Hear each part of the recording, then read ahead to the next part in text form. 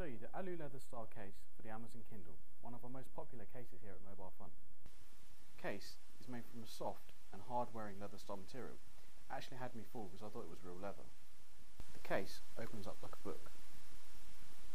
Best feature of this case is the front flap has an aluminium plate which doesn't flex too much under pressure. It also has a nice pocket which uh, you can use to store documents or pieces of paper. Designed specifically for the Amazon Kindle, it has cutouts for the charging ports on the bottom and also the keyboard, which means you can fully use the Kindle whilst in the.